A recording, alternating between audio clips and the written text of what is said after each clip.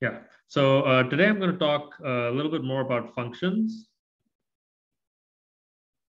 In particular, I'm going to talk about composition of functions. Uh, then I'm going to talk about uh, cardinality of sets.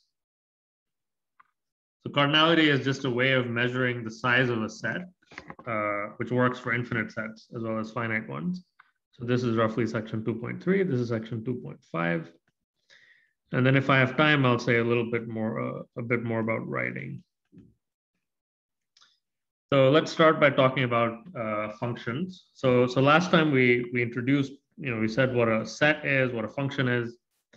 And we, we also defined some specific properties of functions that are going to turn out to be quite interesting.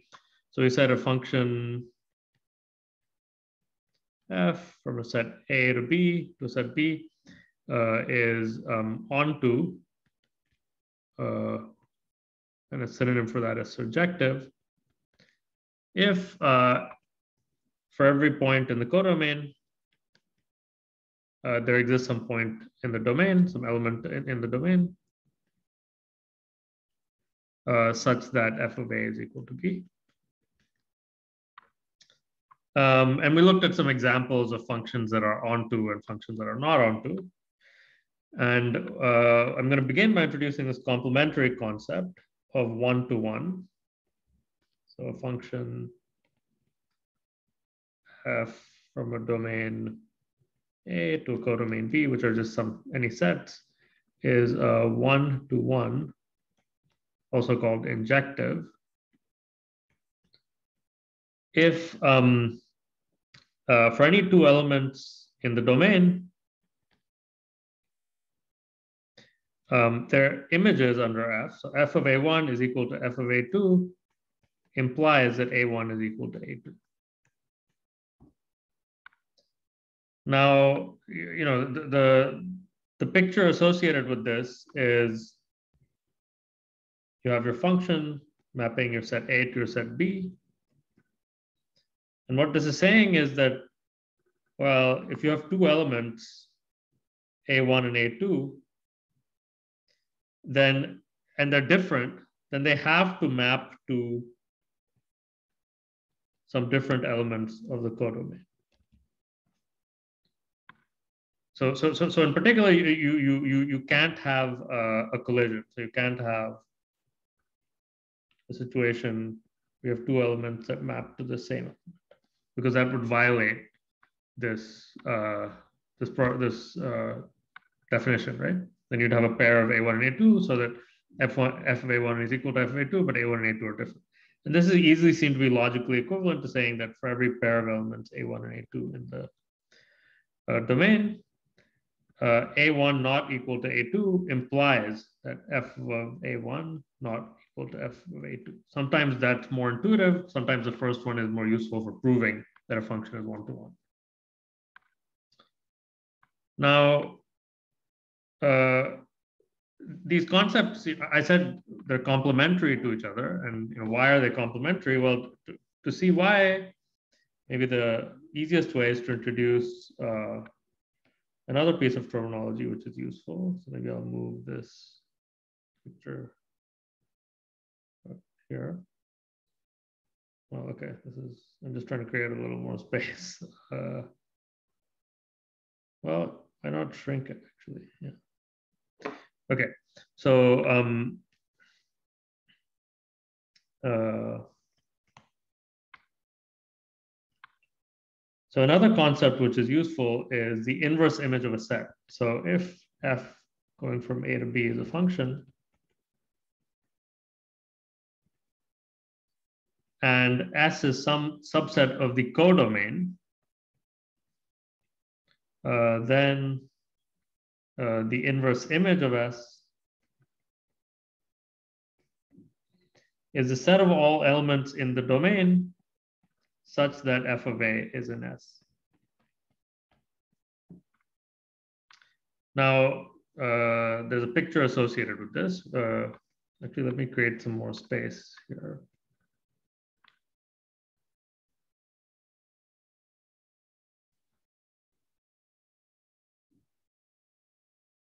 Okay, that wasn't great. Uh,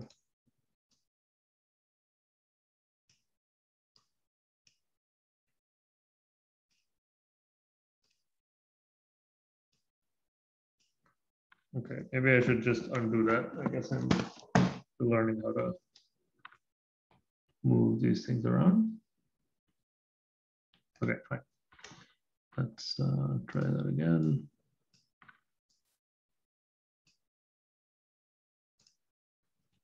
Uh, okay, I'll, I'll just write it well. Why not? So, so, uh, so the picture associated with this is again, you have this cartoon. You have a domain and a codomain, and you have your function f. And what this is saying is, well, if you take a subset S in the codomain, and you look at all the things that map to that. So, so sorry, that's not a very good picture. Let me try that again.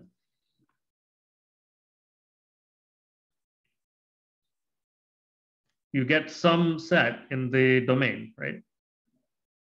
And that's uh, F inverse. That's the inverse image of S. That's all the stuff that gets mapped to S.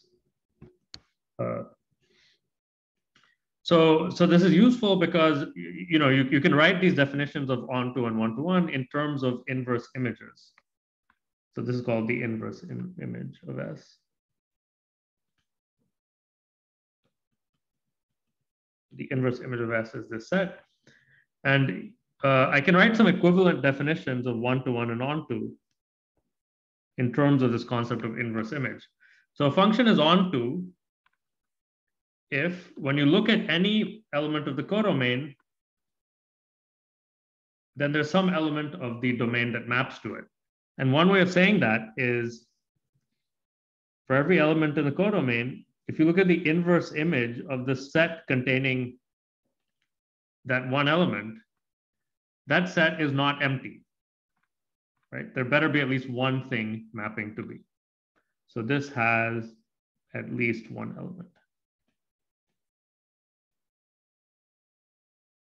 All right, ELT for element. And similarly, uh, I can write an equivalent definition for one-to-one. So any so so any questions about that equivalence before I do that?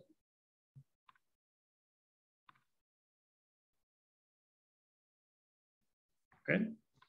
And for one-to-one, -one, I can also I, ha I have another equivalent definition in terms of inverse images. Here I'm saying that, well, for every element in the codomain, there better not be two elements in the domain that map to it. And that's the same thing as saying that the inverse image of the set containing that one element has at most one element.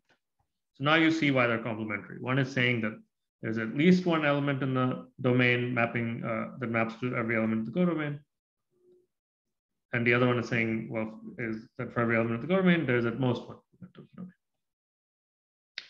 So let's maybe look at some examples, but any questions before we get into the examples? Uh, professor, what do you mean by ELT at the end element, of element? Oh, element, okay. Yep.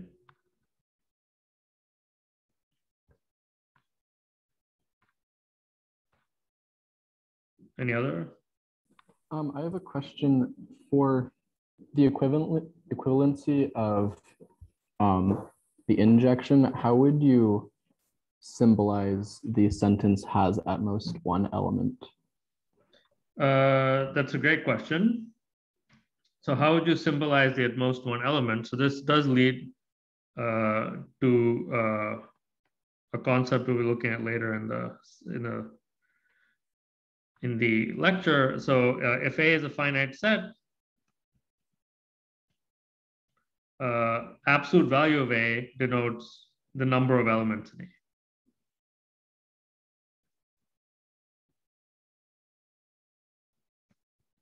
So, you know, A has at least one element.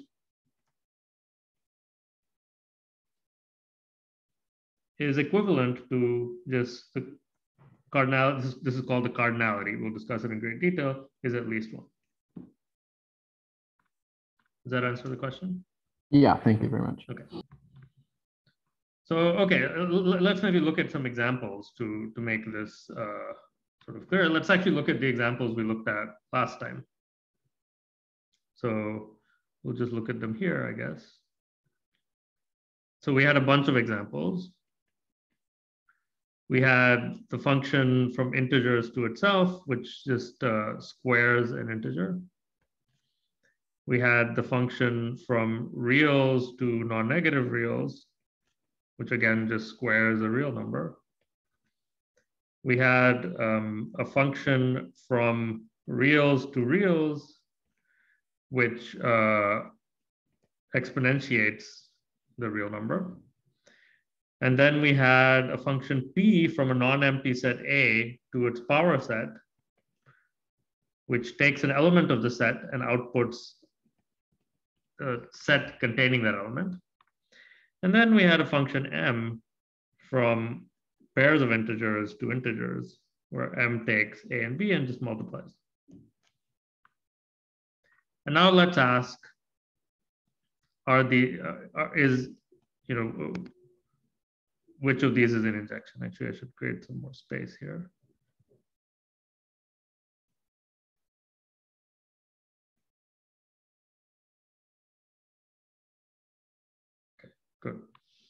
So, um, so let's look at the, so, so the question we're asking is, is this uh, one-to-one? I prefer to say one-to-one because it's more visceral. It kind of reflects what the concept means. So again, it's a new concept. And whenever we're faced with a new concept, we should be thinking in our heads, you know, what is the, what is the definition? And so in this case, F is one-to-one means that, okay, for every x1 and x2 in the domain, um, x1 squared equals x2 squared implies x1 equals x2. Right? That's what the definition is. That's what the definition says when applied to this function f. So that tells us how to check whether this is true or not. So is this true that for any two integers, if their squares are equal, then they have to be equal? No, because it includes negative integers. Yeah, exactly. So this is this is no, because uh, f of minus one equals f of one equals one. So this is not one to one. Okay, let's look at the second example. Uh, the second example is is actually no for the same reason. I won't repeat the argument. Uh, third example, again, let's write down the definition. This is asking, well, for every pair of x1 and x2 in the reals, is it true that e to the x1 equal e to the x2 implies x1 equals x2? So is that true? If you have two numbers whose exponentials are equal, do they have to be equal? Yes, and we can confirm it by taking like the uh, natural logarithm of Yeah. either side. Yeah, this is true because uh, you know th this uh, because e to the x1 equals e to the x2 implies log of e to the x1 equals log natural log of e to the x2 implies x1 equals x2, and this is true for arbitrary x1 and x2.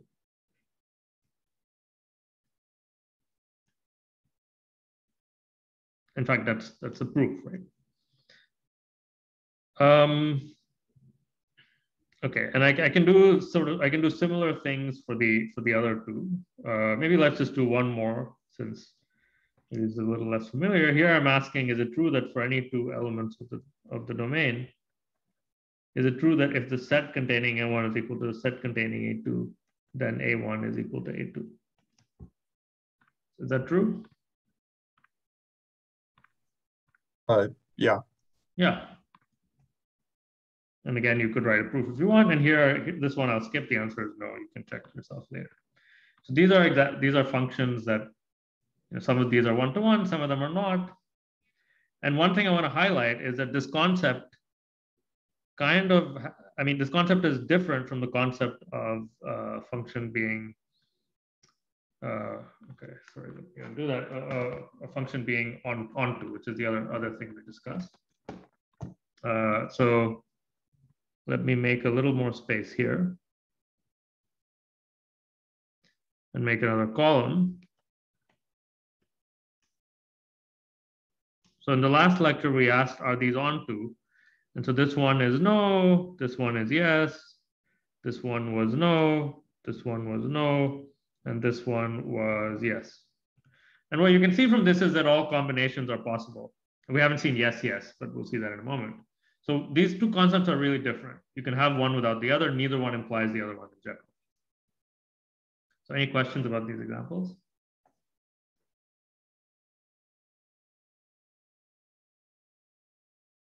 Okay. So now I'm going to um, look at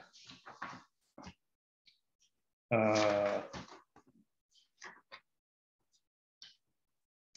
Uh, I'm, I'm going to define one more concept, which you're probably intuitively familiar with, but I want to define it formally. It's a composition of two functions. So if f going from b to c and g going from a to b are functions, uh, the function, it's written g, uh, oh, sorry, uh, I've got it I wanted to do this the other way. Let's call this G and call this F. Or actually, I want to be consistent with the book. So let's, let's do it like this, F and G. Then the function F of G going from A to C defined by F of G of A is just F applied to G of A is the composition of f. And g, and the order matters here. Okay, so f of g is not the same thing as g of f, right? In the first one, you apply g first and then f. In the other one, you apply f first and then g. So, so the, the cartoon associated with this is very straightforward. It's that, well, you had this function g going from a to b.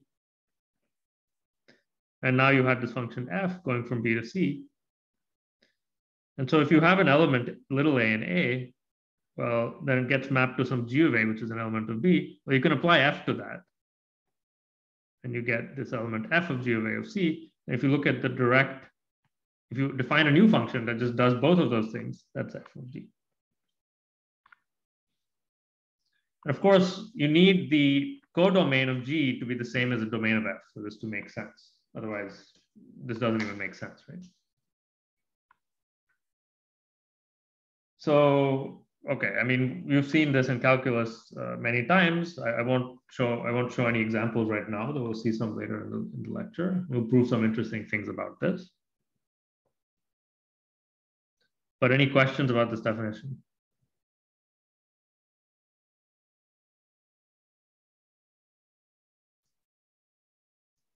Okay. So one, there's one more important thing, which is what happens when a function is both one-to-one and onto. So it's both injective and surjective, and that's a special important case. So if a function a from a to b is um, one-to-one and onto, it is called a bijection. There are many names for this, also called a one-to-one correspondence.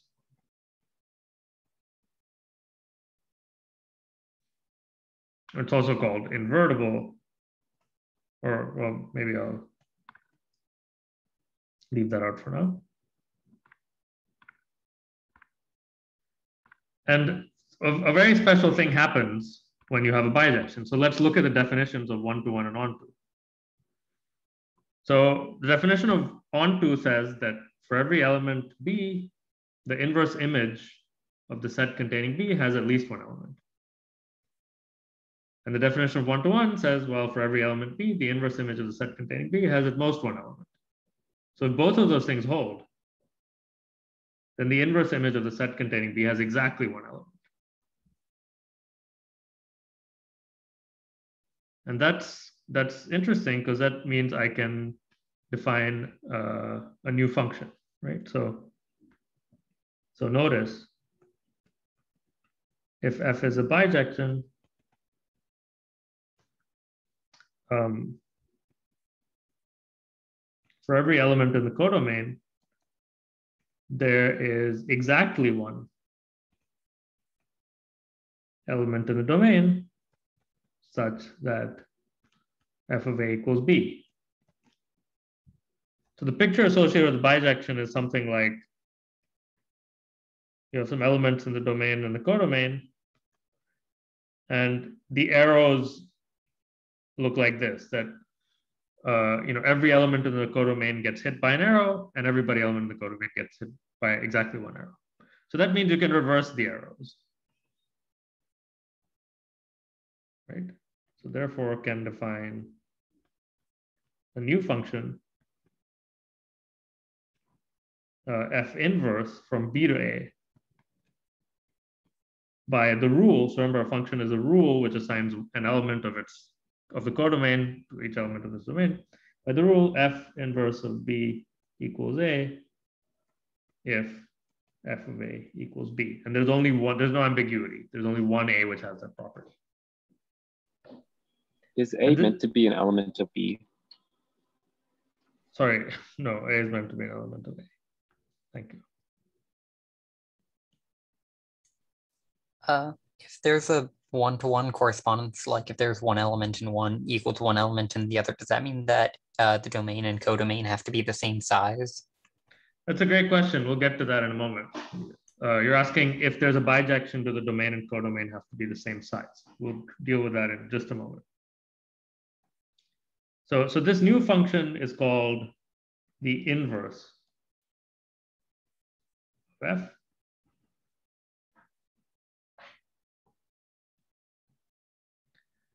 Um, and the important property of the inverse is that when you compose it with f, you get the identity, you get the function that doesn't do anything. So the important property of the inverse is that if you look at f inverse of f, well, let's say you apply that to some a, so what does that do? That's f inverse of f of a. But then, according to this rule, this should just be whichever element maps to f of a, but that's just a, right? So this is true for every a and a. And you can do the same reasoning here. f of f inverse applied to b is f of f inverse b is b for every b and b. So the inverse just undoes whatever f does.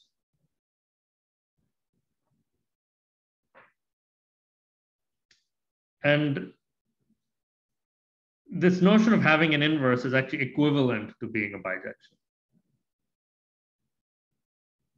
So it's, it's, it's an easy exercise, which I won't spend time on here, but this is sort of an easy fact, which is that f has an inverse if and only if f is a bijection. We've proved one direction of this, right? We proved that if it's a bijection, it has an inverse because I defined the inverse. We can also check that if it has an inverse, then it's a bijection.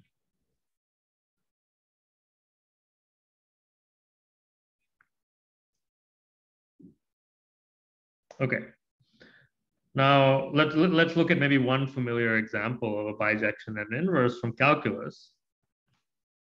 Let's consider the function f going from the interval minus pi over 2, pi over 2 to the real numbers by f of x equals tangent of x. So you've probably plotted this function at, at some point, and you see that it has some asymptotes at minus pi and pi. Minus pi over 2 and pi over 2. And this function is, um, well, is one to one and on to. So here the domain is the x-axis, the codomain is the y-axis. This is a graph. And you can see that from these asymptotes, I mean, we're appealing to properties of calculus here, that every element in the codomain is the image of exactly one element of the domain. So, so this is a, is a bijection. And uh, the what's the inverse function?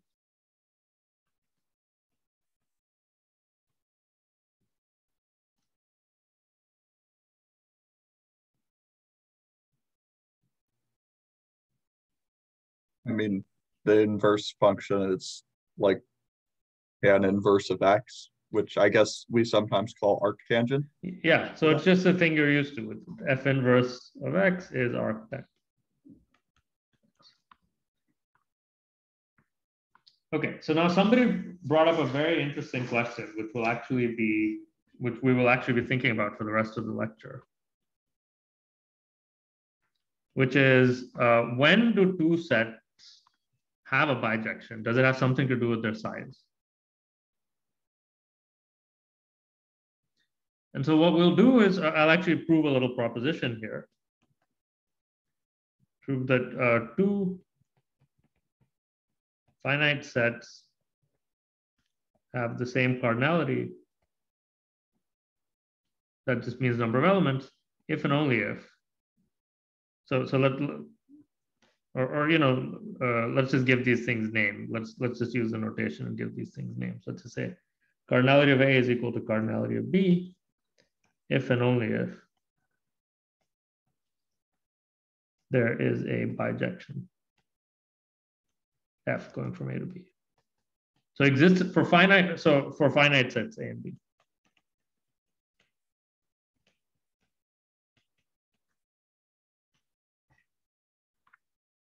So this answers your question for finite sets. Infinite sets are more interesting and we'll, we'll look at them in a bit. So let's let's prove this. So it's an if and only if type statement, right? So to, it's a biconditional. So to prove it, I have to prove both directions.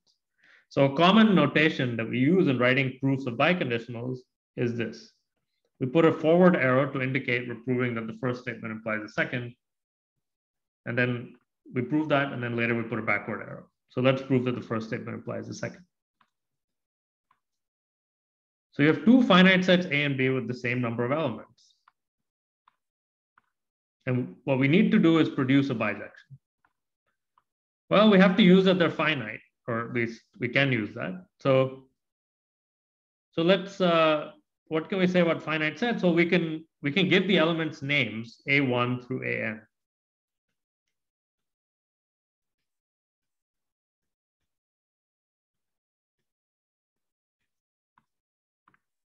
We can do that, right? Because they're finite. And n is the same in both cases. So really we're saying that there exists an n such that this is true. And all of that is implicit in the word let here. Really we're, we're sort of producing this n from the assumption that they have the same uh, cardinality. So now what's the bijection?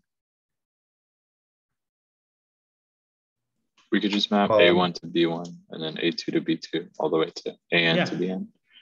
So define f going from A to B by f of ai equals bi for i going from 1 to n. You just list them side by side and map the first one to the first one in B and so on. And then you can check this is a bijection. I will skip this now. Can check.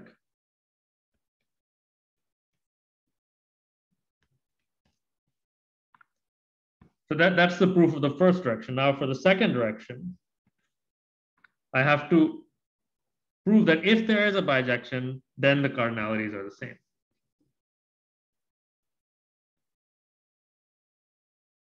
Any thoughts on how to proceed here?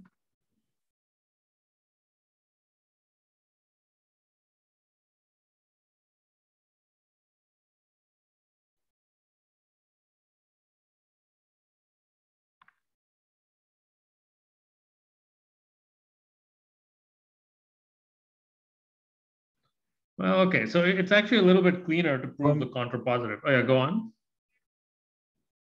I, I was gonna propose that maybe we could like use the property of surjectivity, um, combined with like the, the inverse, um, but it, it, like you, you could say for every element of B, there has to be a unique element of A that maps onto it. Um, so you could, hmm. Yeah, Yeah. I, I don't know that Mhm. that's Yeah, so this gonna is- be enough though. You know, this is an interesting point because you know we've been doing this since we were children, right? This is how we learn to count. Like, why are three apples the same as three oranges? Well, you can you can make a one-to-one correspondence. Why is it the same number? Well, you can make a one-to-one correspondence. Now, unfortunately, this is this is one of those cases where it's somehow something that's it's easier to write the proof if you try to prove the contrapositive. So, so, so, so, so let's prove the contrapositive. So we will show the contrapositive.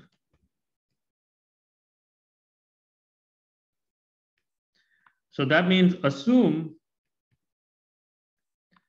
Now assume a cardinality of A is not equal to cardinality of B.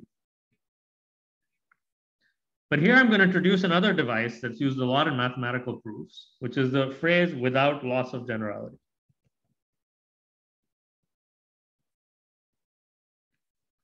That cardinality of A is less than the cardinality of B.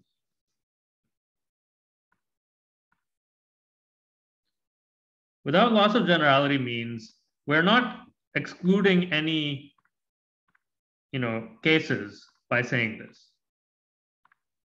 What this is saying is, well, assuming the for the contrapositive, you have to assume A is not equal to B, the cardinality of A is not equal to cardinality of B, well, one of them has to be smaller.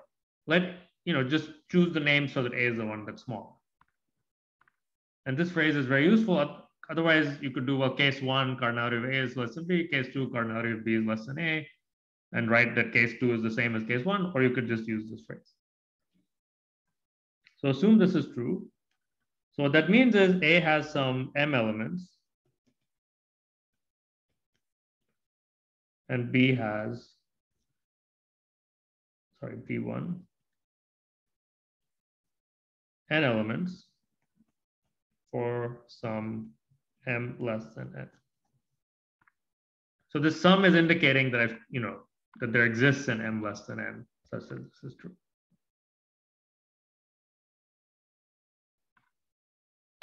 So, okay, so now we have to show that there uh, there is no uh, we have to show that there is there is no bijection. So how do you show that there is no bijection, right? So, well, one way of showing that is you show for every function it's not a bijection.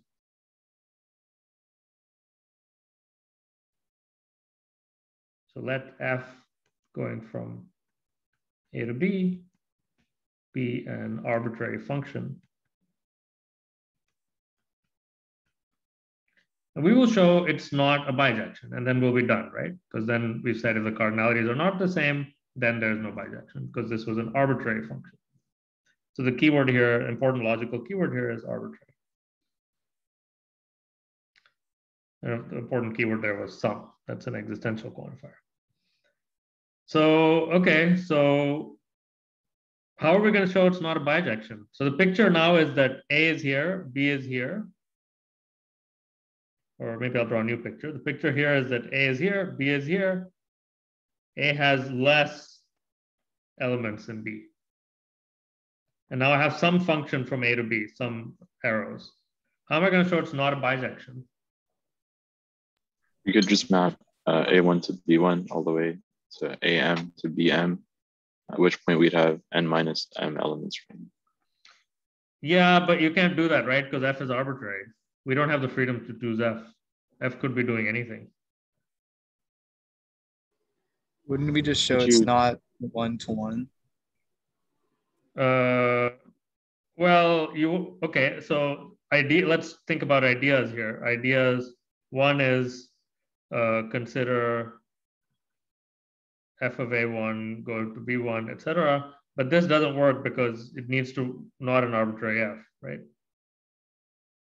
The second idea is uh, show not one to one. Well, I don't know. What if f is this function? This is one to one. That's not going to work, right? Because there is an f from a to b. There could be an f from a to b that is one to one. In fact, there always is in this case. That doesn't work either. Could you take their set difference? Inverse. Take their set difference. Okay, what would you do? Uh, I mean, they could just be disjoint, right? They don't have to have anything to do with each other. Hmm. So the set difference could be the empty set. Can we take the inverse of B?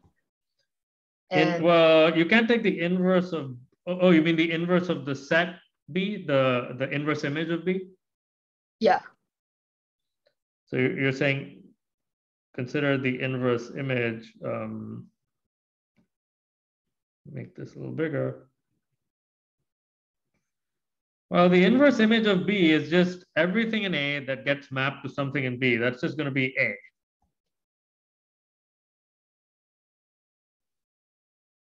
what is a way to show that the range and the codomain aren't the same thing? Yeah, that's that's the good idea. That means you want to show it's not onto, right? We Oh yeah, show- not onto. show f is not onto. Now, wh- why is that, looking at this cartoon?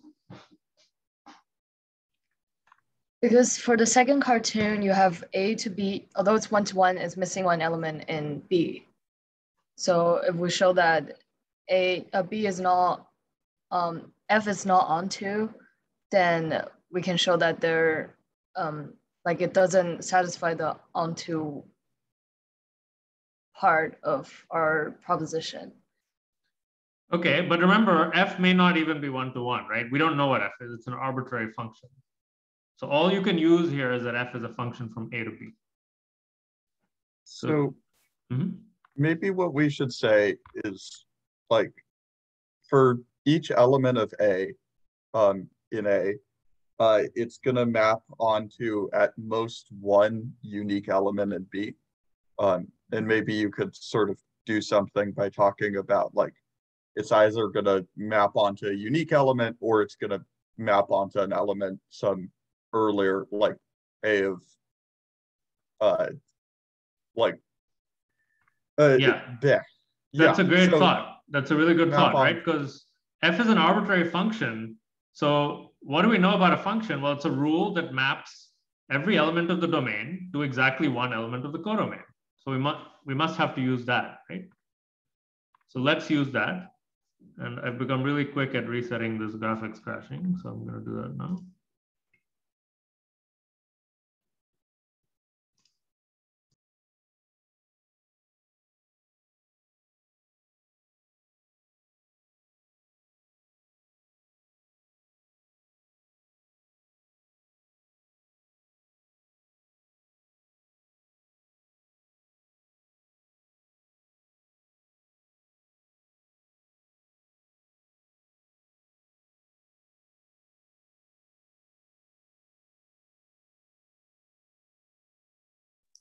Um, We can't Professor, hear you if you're can't you. talking.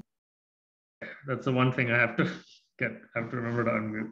Since every element of A is mapped to exactly one element of B, the image of A has at m- most n elements, right? Because each element of A gets mapped to exactly one element of B, and things may be repeated, but you're never going to create more images, right? So therefore, there's some element of B that's not in the image of A.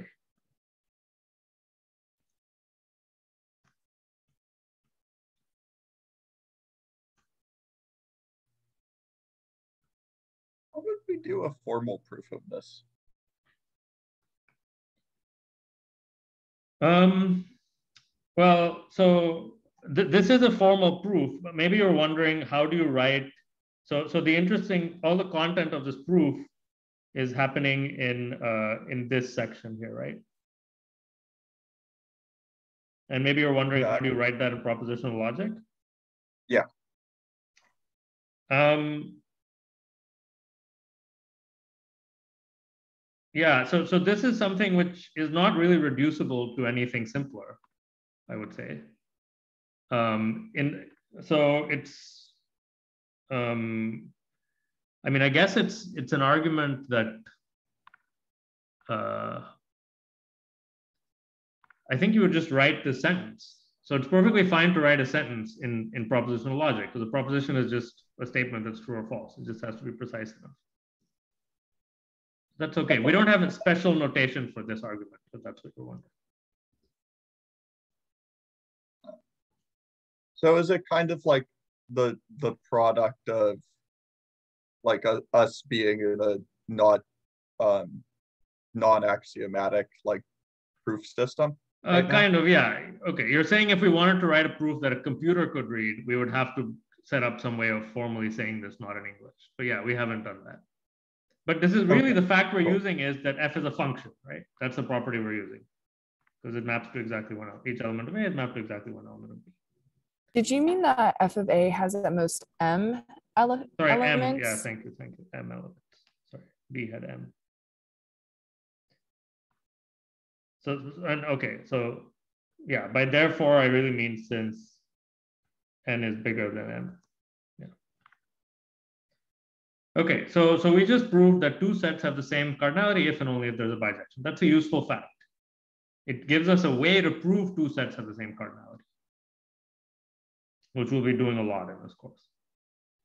Um, I have a question about without loss of generality. So, Mhm. um, if we want to use that in a general proof, like how do we prove that we can use that? So without loss of generality is just it's just a shorthand phrase, which which means that there's some obvious to the reader uh, um, uh, usually cases that are all the same up to renaming the variables. So in this case, this means that, well, you know, if A is not equal to B, uh, then one of them has to be smaller, right?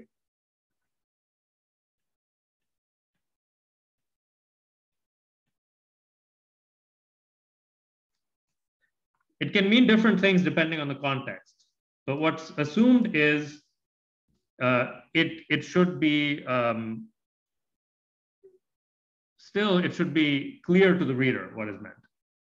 So this is more, this is more a part of the way we write informal proofs as opposed to the formal logical underpinnings. I mean, the, the logical content of it is that uh, we wanted to prove every something for all sets A and B, but it's enough to prove it when the size of A is less than the size of B, because otherwise I can switch their roles.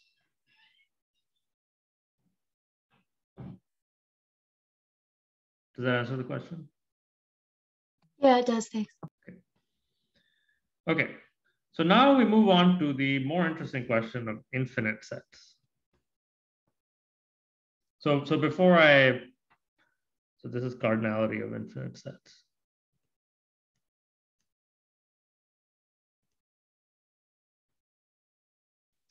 And you know, we have many interesting infinite sets, right? We have the set of integers, we have the set of positive integers, we have the set of rational numbers, we have the set of real numbers, we have the product of the set of integers with itself, et cetera, et cetera, et cetera.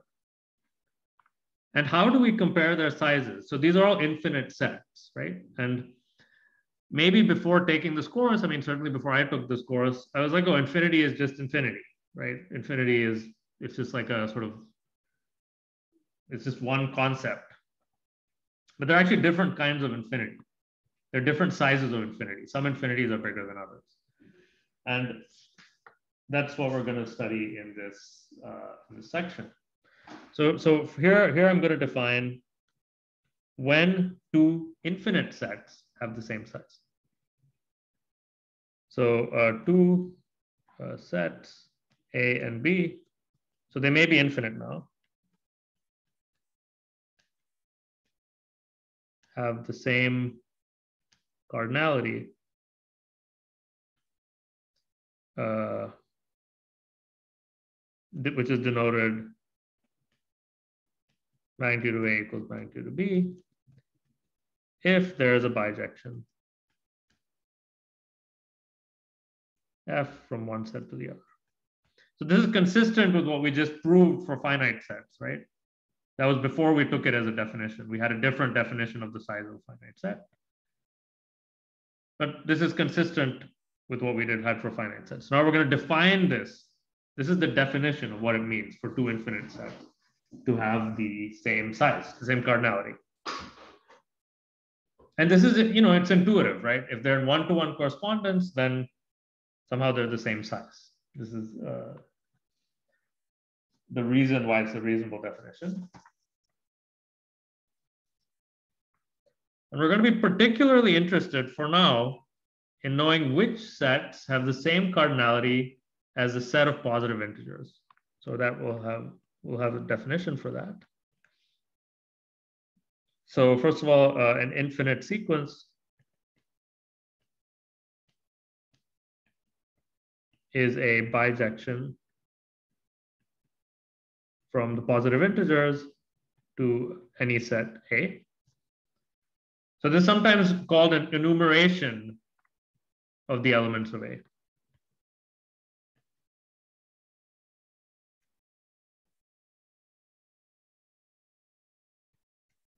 Because after all, what are you doing? You're listing the elements of A. Right, one, two, three, four, and so on. And uh, a set is countable if it has such a bijection. So a set A is countable. Again, a very intuitive word. It means you can count the elements. If um, it is finite, or it has the same cardinality as the positive integers, which is the same thing as saying it can be enumerated.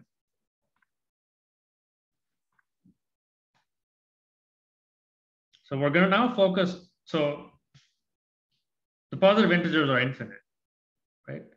An accountable set is one which has the same size as the positive integers in this very specific sense.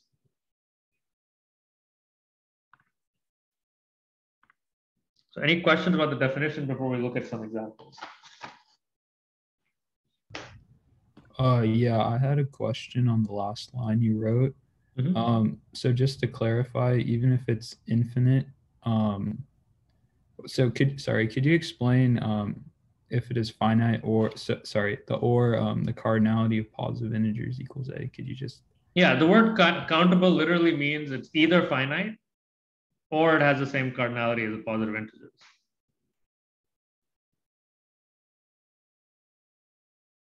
Yeah.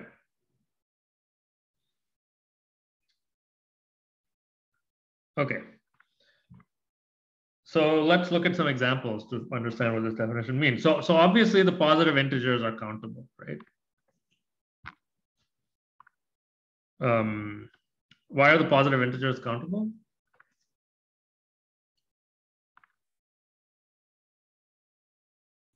There's a bijection from the count, the positive integers, to positive integers.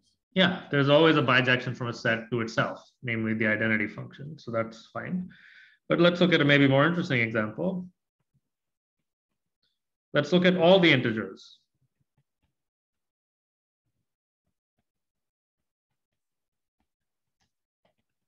So this set contains the positive integers. It has infinitely more numbers than the positive integers. So at some level, it looks like it's bigger. But actually, it's countable.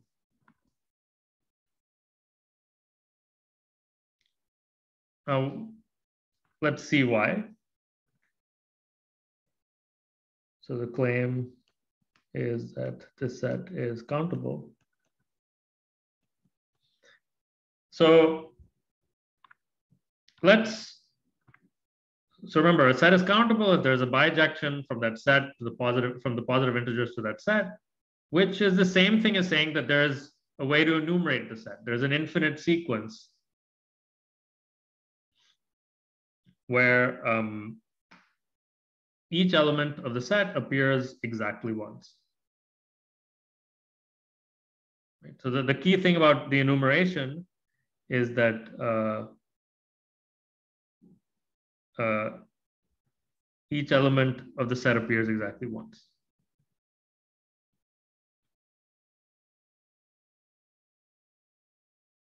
And that comes from the fact that this is a bijection from positive integers.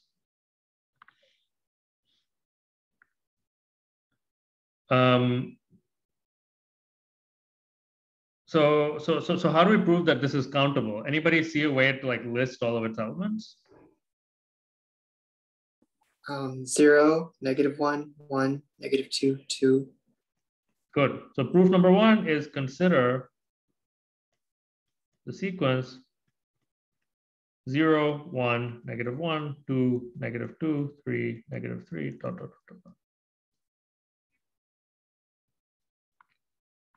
So that is a bijection from the positive integers to the set of uh, integers.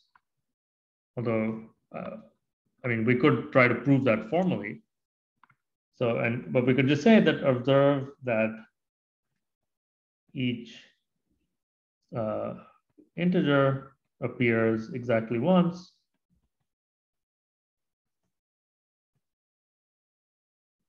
in the sequence. And so that's it. So therefore, the set of all integers is countable.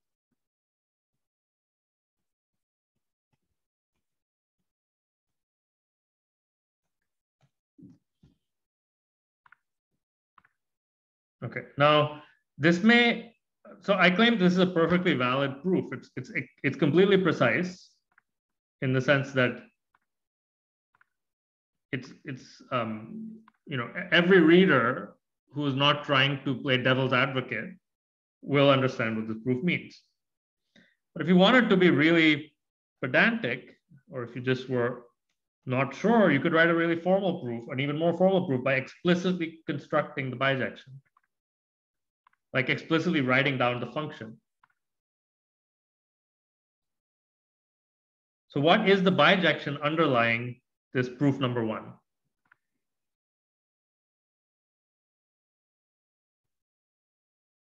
Um, we could define f of n uh, is equal to,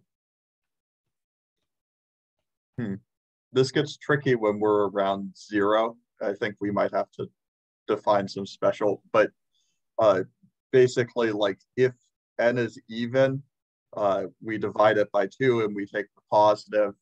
Um, if n is odd, we subtract one, uh, divide by two and take the negative. Yeah, that was very quick.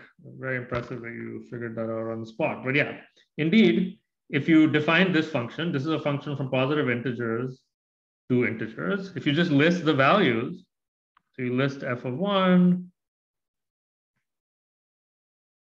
f of one, one is odd, so then you just get zero. f of two is one, f of three is minus one. You actually get the sequence that's written above. This won't be written in the proof. I'm just doing that for pedagogy. And now you can prove that this is one to one and on to. I won't do it here since it's it's not that interesting. So prove f is one to one and on to. Or I don't know. Uh, actually, I'm okay. Do people want me to do it? If people want me to do it, I'll do it. So who wants me to do it? I think that would be nice. Yeah. Okay, yeah. Well, why not? Since it's the first one. So so let's do it. Okay. So we will show f is one to one and on to. So let's first show it's one to one.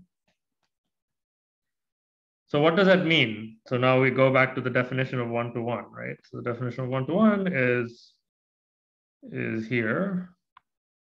It's one to one if for every A1 and A2, f of A1 equals f of A2 implies A1 equals A2. So we, that tells us how to prove it, right? So assume n1 and n2 are positive integers and assume f of n1 equals f of n2. Now we need to show that n1 equals n2 and then we'll be done, right? Well, this function has a bit of a clunky definition, right? It's one thing if if n is even and another thing n is odd. But there is one nice thing, right? If f of n1 equals f of n2, they have to have the same sign, right? So observe that f of n1 and f of n2 have the same sign because they're equal. So either uh, both n1 and n2 are odd, or even or n1 and n2 are odd. I'm just applying the definition of the function.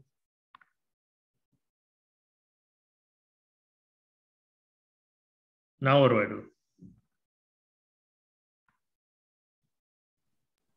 Um, That came from the fact that um, the second part of the function is takes the negative of it if it's odd, right? Yeah, so so the point is that f of n is either positive or negative. And if it's negative, it has to take the second part of the function, right? Because n is always a positive integer. Got it. n is never negative. n is going from one, two, three, four, and so on. But yeah, it's a good question. Sorry, how is the sign connected to um, if they're even or odd? Well, it's in the definition, right? So f of n is some positive number. So the key thing is that this, this number is always positive, and this number is always negative, right? So if f of n1 is equal to f of n2, then they're either both positive or both negative. So they're either both even or both odd.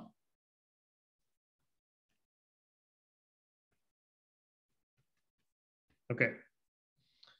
So um, now we have to do proof by cases. We don't know which case we're in. So we have to consider both cases. So case one is that N1 and N2 are even. So what happens in this case?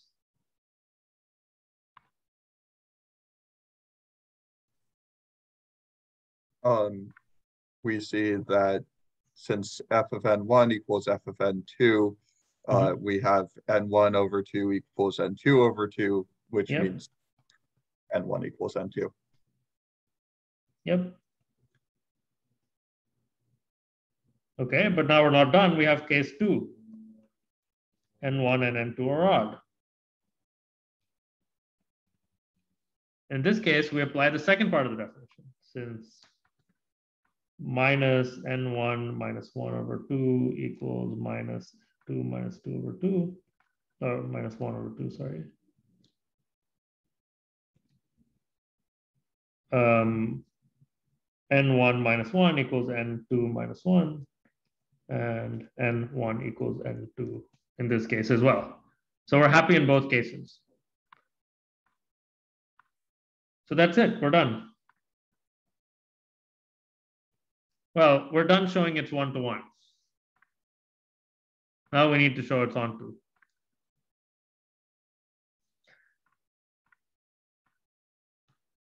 So,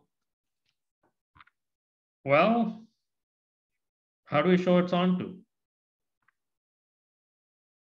Well, let's go to the definition of onto. We need to show for every element in the codomain, there's an element in the domain that maps to it. So assume um, m is an arbitrary integer.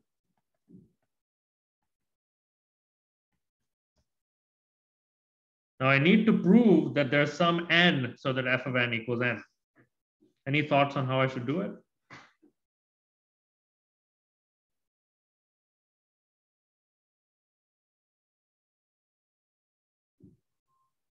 How am I going to find this n? So this picture is I have z here, I have z plus here, I have this m sitting here, and I need to show that it came from somewhere.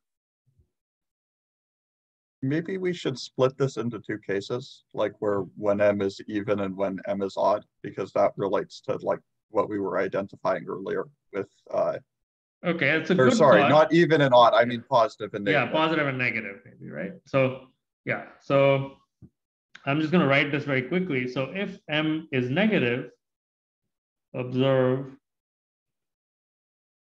that, or let, let's do, let's do non-negative, uh, let's do well, strictly positive first. Observe that f of 2m equals m. right? Because 2m is always even. So it falls in the first case. If m is non-positive,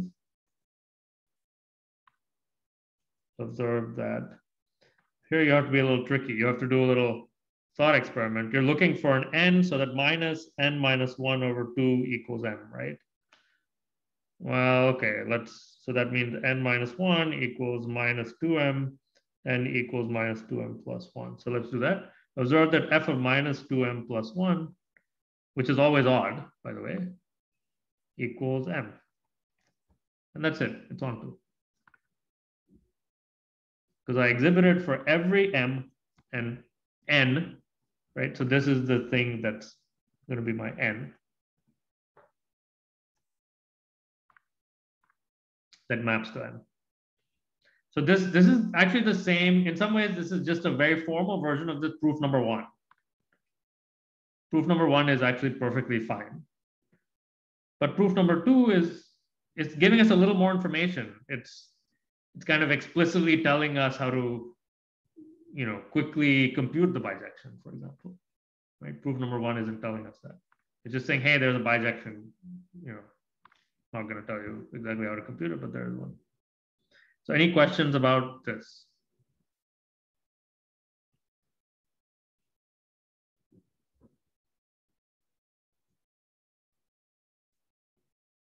Is everybody okay with the concept of an infinite sequence? Like, um, you want me to say a bit more about why infinite sequences and bijections are the same? Um, yes. Okay, yeah, so let me say, let me add a remark. Uh, the bijection uh, F, so, so given a bijection, yeah, so given a bijection, or let me, let me just not write in English, let me just say, so, so let's say you have a bijection F going from positive integers to some set, then you can turn this in, so this is a bijection, you can turn this into the following infinite sequence, f of one, f of two, f of three, dot, dot, dot. Right? Whenever you have a bijection, you have an infinite sequence, Uh, which is actually an enumeration, which means every element appears exactly once.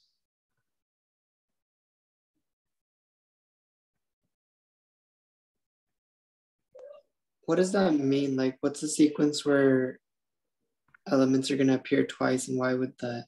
make well, it. yeah, I could define one, right? I could look at a sequence like this. That's not an Okay. enumeration, right? So it's Okay, a special so- property that every element appears exactly once. Okay, so like if we were to say that like if we're trying to prove that all real numbers are countable, how would we go about that? Yeah, Like, we'll get to that in a moment. It's a great question. Okay. And similarly, if you have some any old sequence, A1, A2, A3, etc., you can turn it into a function by looking at the function f of n equals an. So bijections with the with the positive integers and enumerations of sets are the same thing. And we, you know, in proof number one, we wrote it in the language of sequences and kind of implicitly defined as bijection. And proof number two explicitly defined bijection.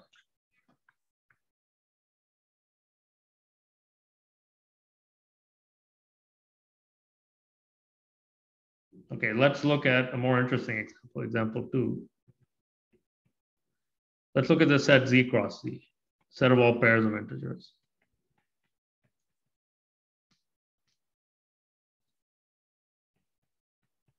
Wait, sorry, could you like go back to the um the other page for like five seconds? Okay, thanks.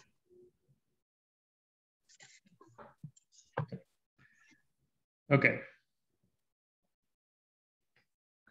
So now I'm gonna, now the claim is that this is also countable.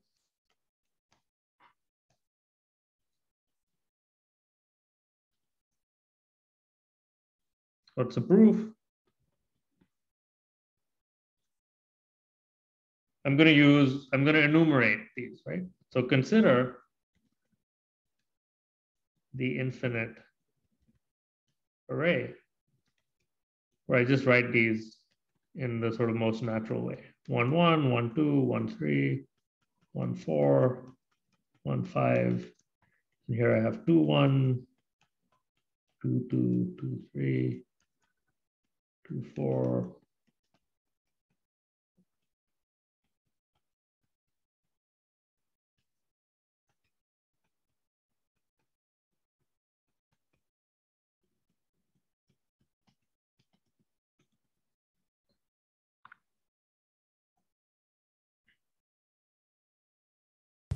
Could you radiate out from the center?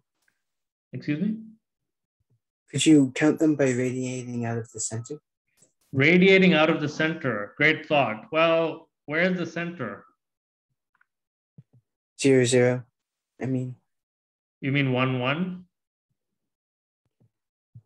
are, is it only positive integers? Oh, sorry. um, Yeah, yeah, yeah. Sorry. Positive integers. My bad.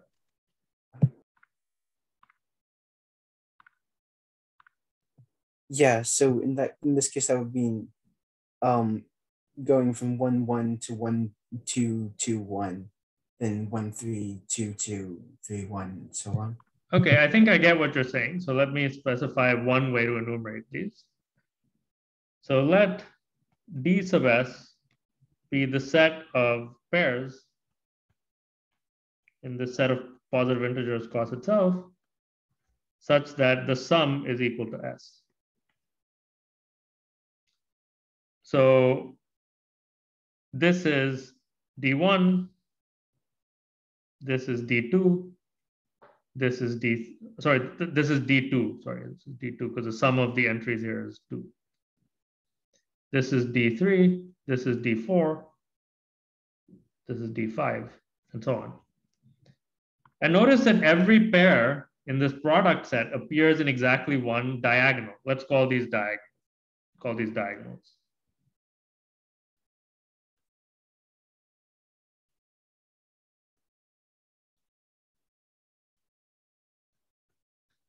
I'm just defining that to be called a diagonal. And now um, there are many things I could do. So I think what you proposed is to just list the elements of each diagonal one after another. Right, so consider the sequence, uh, the elements of the first diagonal. We need to specify an order. And so let's do right to left. And I, I forget in your sequence, were you doing were you doing a sort of snake pattern or just always going? Uh, sorry, I guess this is left to right. Were you always doing left to right or right to left? Uh, I was going to go from right to left across the diagonals. Okay, so yeah, so just just go from just do this, right? So just just list all of the diagonals from left to right, uh, element followed by elements of D. Sorry, this is not D1. This is D2 left to right. Elements of D3 left to right, followed by elements of D4 left to right. Dot dot dot. So that obviously that's a well-defined infinite sequence of elements of the set.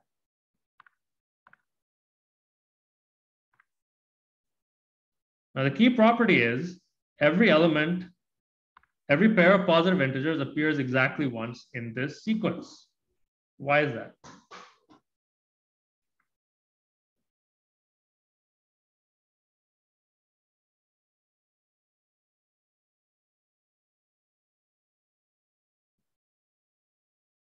Well, I can I can just tell you. So, so notice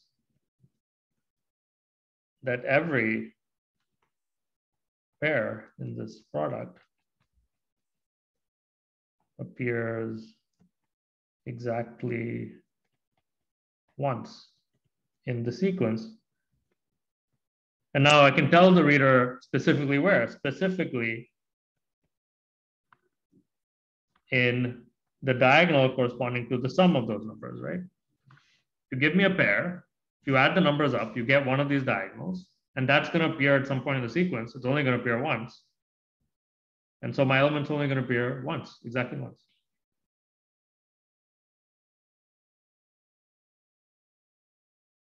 That's it. That's a bijection from positive integers to z, plus to positive integers cross itself. So thus, the sequence is an enumeration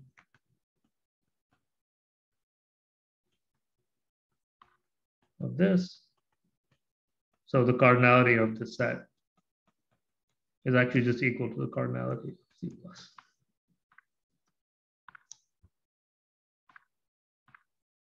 Okay, there's, by the way, there, there are many possible bijections. Another thing the proof reveals. I could have alternated the direction of traversing the diagonals. I could have done some other thing. There are many, many ways of listing the pairs of integers. This is just one of them. So any questions about this?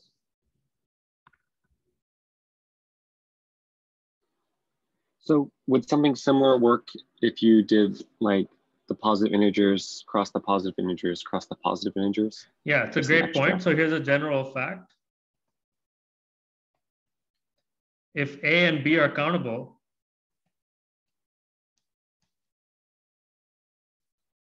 so is A Cartesian product B. And then, yeah, you could do it two, three, you could do it a bunch of times. So all those things have the same cardinality. So are, are infinite and countable. So, I mean, okay, it- it's true for countable, right? But for, so, so for infinite sets, cardinality of A cross B is equal to cardinality of A. Uh, sorry, is, okay. Uh, yeah, uh, if they're both countable, let's just leave it at this. So one remark, which you can read about in the book, so you should read this because it's cool. A similar argument with one more tweak shows that the rational numbers are countable. Let's say the positive rationals. There's a way to list them. And basically it's just that, well, you can write each one as P over Q. Then you can make the same kind of table with P's and Q's with P over Q. You can do this kind of diagonals thing. You have to be a little bit careful because you don't want an element to appear twice. So there's a little thing you have to do, but you can read about that in the book. Somebody raise their hand. Yes, I just have one question. Like, what is the definition of countable? Is it when it's exactly one, appears exactly once? Countable is it's finite or it's the same cardinality as the positive integers. Gotcha. Thank you. And that's the same thing. Yeah, okay, maybe I'll clarify. It's countable if and only if there's an enumeration of its elements. Right, so bijection from Z plus to A is the same thing as cardinality of Z plus equals cardinality of A. Okay, so since we're running out of time, let me show you the most interesting example, which is a set that's not countable. Let's consider the set of real numbers in the open interval zero to one. So as you learned at some point in school, every number here has an possibly infinite decimal expansion.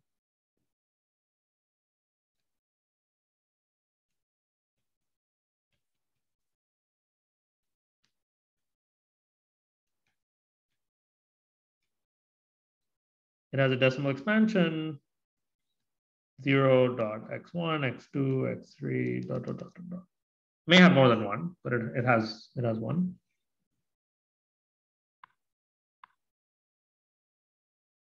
Okay. Now, the sort of quite stunning claim is that this set is not countable.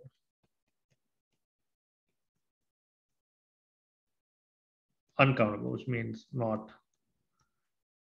countable. So there's no way of listing its elements in a way such that every element of the set appears exactly once.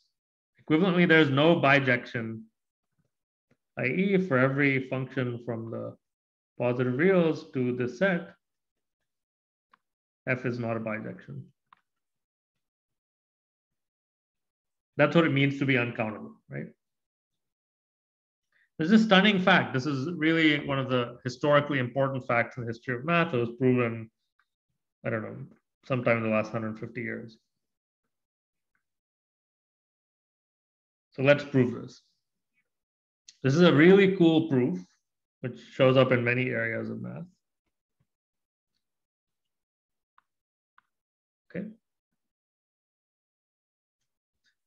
Well, we know we have to show. We have to show if you have any functions from positive integers to this set, it's not a bijection.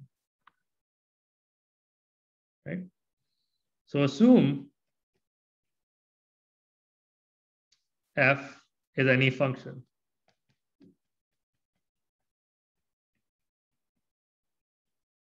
And you know, functions from the integers to any set, they they you know they correspond to sequences, right?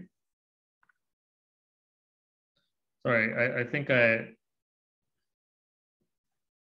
I'm sorry, an infinite sequence is a function from a set to a thing. Uh, um, if it's a bijection, it's called an enumeration.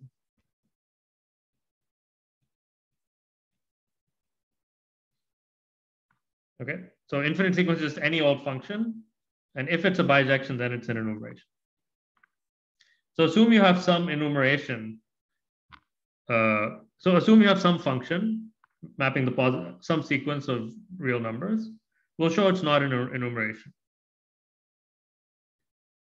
So we will show something more specific. We'll show f is not onto.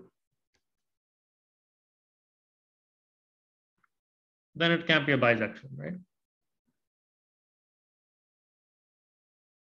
So here, so what, what, what am I going to do? I'm going to list f of one, f of two, and so on, right?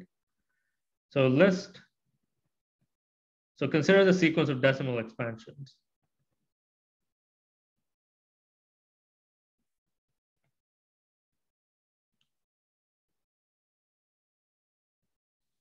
So we have f of one, which is some decimal expansion of some number. So let's call that, let's call the digits D11, D12, D13, D14, dot, dot, dot, dot.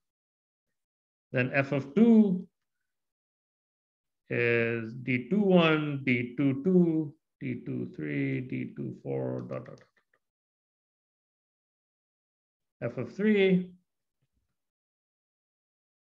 is D31, D32, D33, D three, four, so on. Can everybody still see, by the way? Uh, no, it's frozen now. It froze. I'll be back in a second.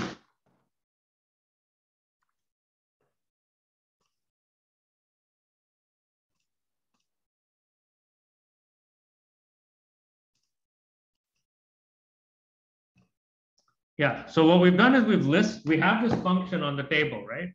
So we can list out all these numbers and we can list their decimal expansions. And my goal is to show that this is not onto.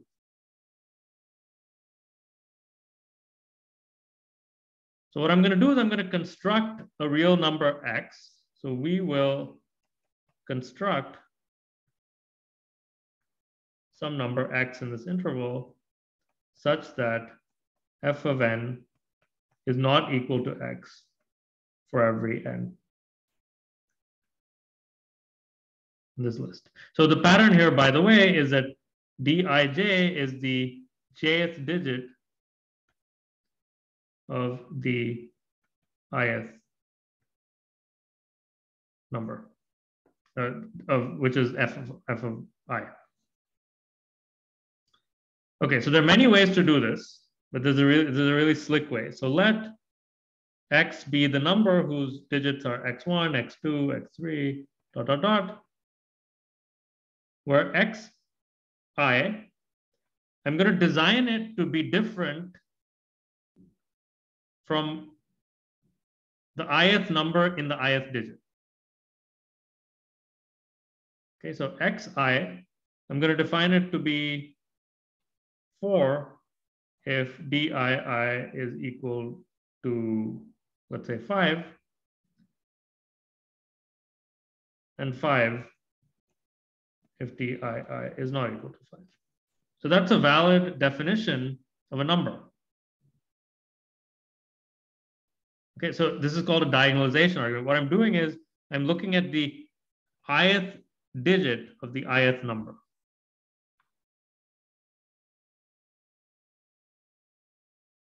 And the key is that x, the way I'm defining x, so the key point is it differs from fi in the ith digit. So by construction,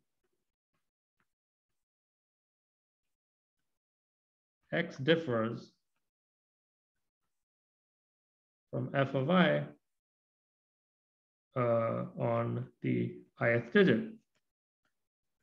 Right? If the ith digit of fi was 4, then uh, was 5, then xi is 4. And if it was not 5, then it is 5. So it's always different. So this is the key point. But now I'm done, right? Because I have produced a real number that's not on the list that's different from every element in the range of f. Thus, x is not in the range of f. So f is not a bijection.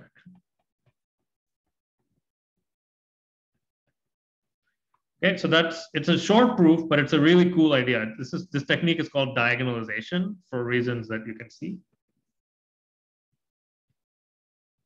But it, it it's really quite uh, sophisticated, right? I'm considering an arbitrary function and showing it's not onto.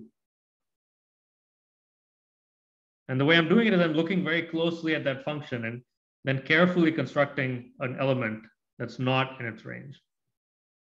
So yeah, somebody has a question?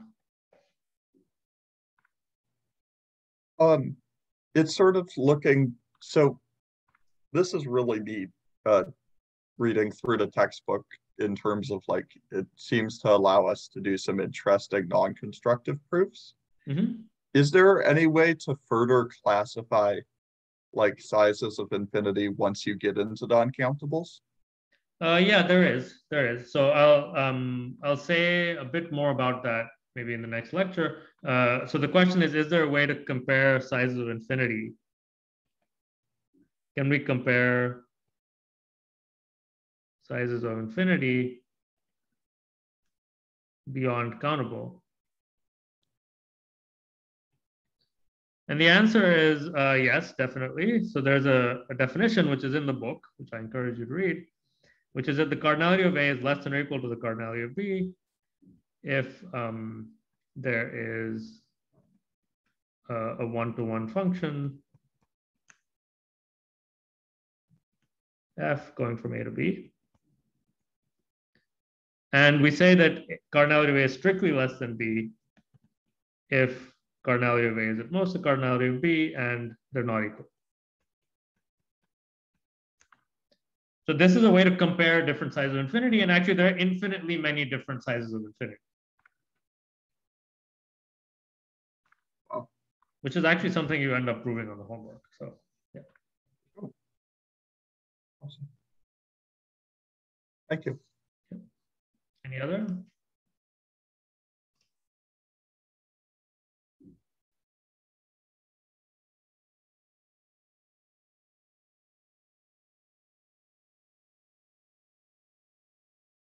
Okay, so I didn't get to talking about writing and I've been meeting through the last two lectures. So what I decided is I'm gonna record a little like 10 minute video and just email it to you since I think many people are having questions about writing. But anyway, that's that's it. So thanks. Great evening.